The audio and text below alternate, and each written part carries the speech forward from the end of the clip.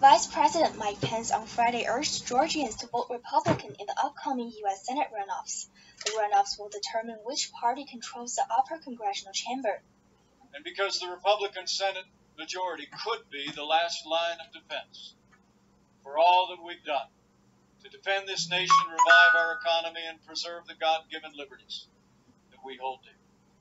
He also mentioned potential election fraud in the 2020 presidential election. We're going to keep fighting until every legal vote is counted. We're going to keep fighting until every illegal vote is thrown out. Pence said the Republicans will defend religious freedom, recalling a California senator's remark about Justice Amy Coney Barrett. And you all remember when Judge Amy Coney Barrett went through her confirmation two years ago. And the leading Democrat on the Senate Judiciary Committee said she was concerned about Judge Barrett's Catholic faith. She said, and I quote, the dogma lives loudly within you. And their allies in Hollywood have been attacking Judge Barrett's faith ever since. Well, I got news for the Democrats in Washington and two Democrats that want to join. That dogma lives loudly in me. That dogma lives loudly in you. And the right to live and worship according to the dictates of our faith lives loudly in the Constitution of the United States of America.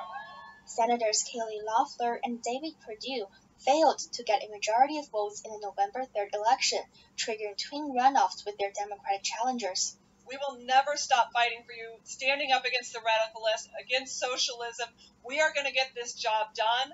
But today, we're the last line of defense against this country making a change to the left that we won't get to undo for maybe two, three, four, five generations. We cannot let that happen. Ronald Reagan reminded us of our responsibility.